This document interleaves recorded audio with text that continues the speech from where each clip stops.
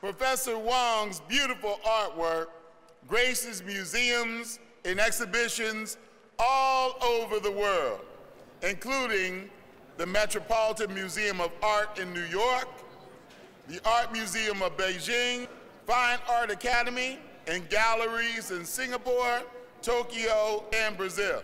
His art is based on Chinese philosophy, culture, and artistic traditions, but his experimental and unusual style has become a tradition of his own.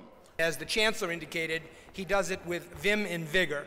Uh, he does it with energy. It's always exciting to watch him.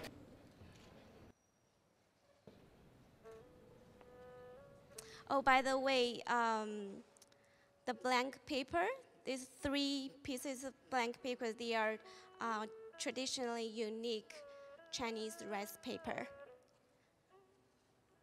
so that they can sustain such um, very thick color. Now you can see the whole picture.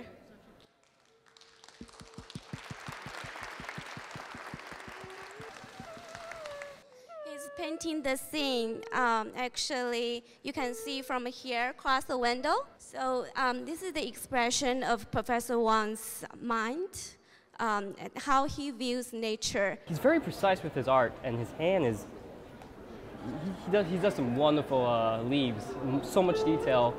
Leaves are very difficult. That's it's really popping now. 我想我这种自由式的方式的绘画，能给每一位女士、先生们、教授们、老师们、朋友们带来快乐。I hope my paintings can bring joyfulness and happiness to every one of you here today.